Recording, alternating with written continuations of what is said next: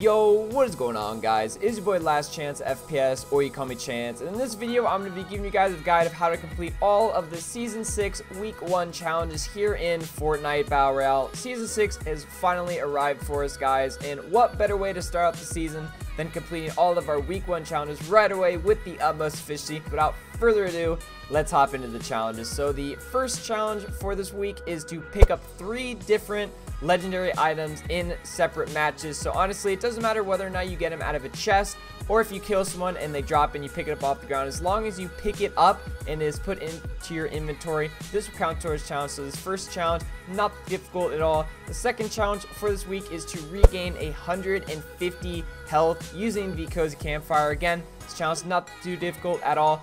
Either deliberately take fall damage yourself, or after a gunfight if you guys lose some HP yourself. As long as you put down the Cozy Campfire to regain your HP points, you guys should be good to go for this challenge.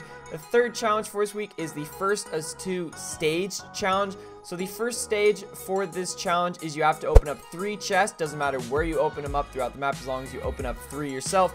The second stage is to open up two supply drops. And then the third and final stage is to open up a llama. So honestly, none of these are really too difficult. I guess the llama is kind of luck based. But besides that, honestly, none of these stages are that difficult at all. The fourth challenge for this week is to apply 500 shield points. Honestly, this challenge is super, super easy. I think I did it in like one match myself.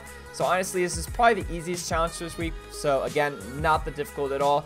The fifth challenge for this week is the second of the two stage challenges. So all you have to do is land at these locations, but in this order. So the first place you have to land is Junk Junction. The second you have to land at is Tomato Temple.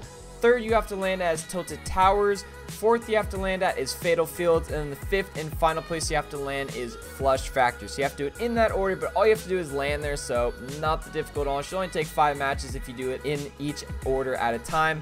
The sixth and second to last challenge for this week is to dance under different street lights, spotlights. I believe you have to dance under seven of them. I'm going to put a picture up on screen now of the map of all the different locations where they are located. I believe there's 14 different locations in total, so you only have to go to half of them. Look at this map that I put together up on screen plot out where you want to go or which seven you want to hit and you guys should be good to go for this challenge and then the seventh and last challenge for this week is to eliminate five different opponents in named locations. So honestly, this challenge, again, not difficult at all. If you also pair this with the stage where you have to land the different locations, this actually will also kill two birds with one stone. So definitely try to do that for you guys complete this challenge. You guys also know after I do all the seven regular challenges, I also like to throw in where the secret battle star for each week is. I'm going to put a picture up on screen now of what the loading screen for this week looks like. It's pretty cool, showing off all the new skins, themes for this season 6.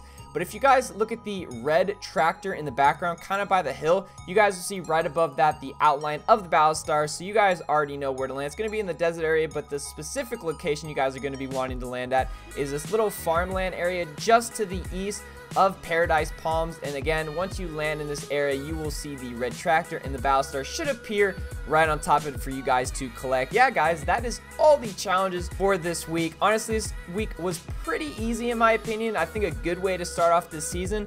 And I hope this video helped you guys complete the challenges with no problems whatsoever. But if you guys did go on to enjoy this video. You guys already know what to do. Like, comment, subscribe, click the bell notification so you guys never miss a future upload. Follow all my Twitch and social medias linked down in the description down below. And until next time, I will catch you guys in the next video.